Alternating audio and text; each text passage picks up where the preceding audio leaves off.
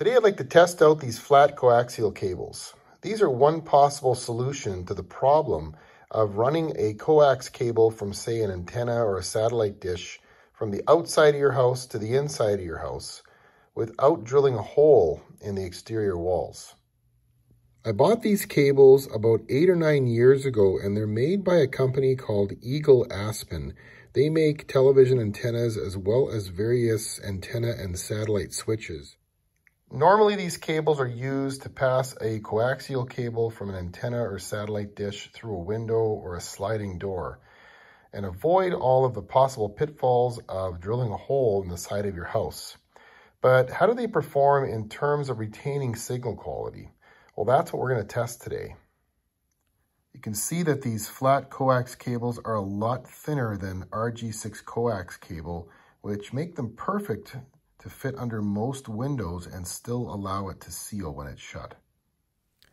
To get a sense of how this cable performs, we're going to look at the average signal strength across all three over-the-air channels I can receive in my area and measure the signal strength both with the flat coaxial cable in place and replacing it with a regular coax coupler between the same two pieces of RG6 cable.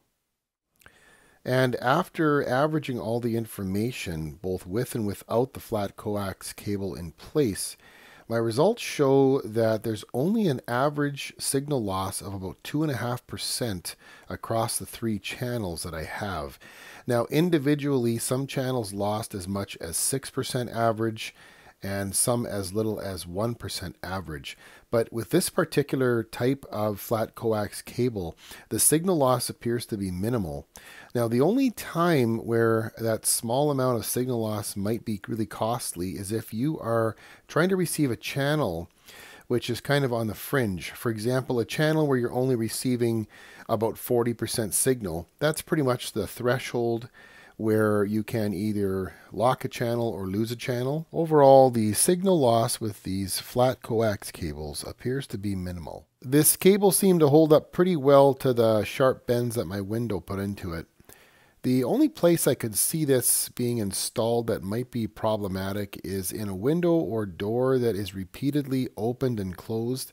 I could see that causing a lot of excessive wear on this cable. These cables are best used as a temporary measure to run coax cable into a house, maybe for testing an antenna out or testing a setup, but as far as a permanent solution goes, you're better off to have a properly run piece of coax cable running from your antenna or satellite dish. These particular flat style cables are also probably best used if you're dealing with strong over-the-air signals if you have a few weaker signals in your area, for example, TV stations that you're only able to pull in around 40%, well, that 3 or 5 or 10% signal loss might make the difference between receiving a channel and not receiving a channel.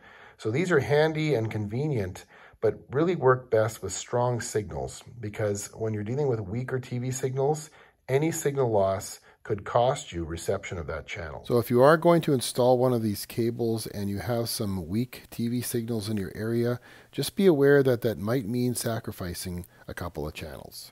But if you live in a rental property or just don't have the knowledge or technical ability to safely drill a hole in the side of your house, then this might be the solution for you.